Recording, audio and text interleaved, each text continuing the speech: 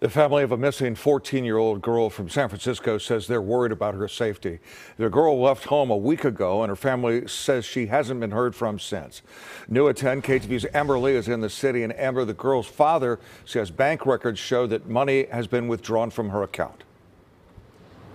That's right, Frank. The father tells me that it appears she withdrew money here at an ATM in San Francisco, Chinatown, an area that she does not frequent.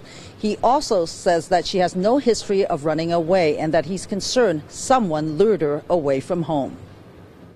Jason Gallaread is joined by relatives as he walks through Jefferson Square Park in the Western Addition neighborhood, letting people know he's looking for his daughter Katlin Gallaread. He says he and the 14 year old had dinner together at home last Tuesday. She went to her room, and that was the last time he saw her.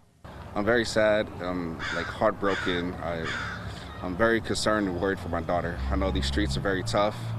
There's a lot of sick individuals out here. The single dad tells me Katlin left behind a note indicating that she was depressed because of the isolation caused by COVID restrictions. Because she can't see her friends, and you know, there's no going outside, and you know, the social interaction, everybody's not the same. Dad says this is ring video from a neighbor showing the teen leaving her home on February 16th at 9:44 at night. He says about 2 hours later, bank records show a cash withdrawal at an ATM in San Francisco Chinatown. On Saturday, Gallaread says there were two more ATM withdrawals. This time, the transactions were at a bank in West Sacramento.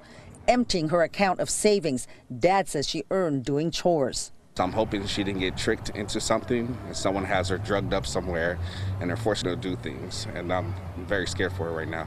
Gallaread says when he calls her cell phone, it goes to voicemail. We're not speaking to the activity of cell phones as well as the usage of any credit cards or debit cards.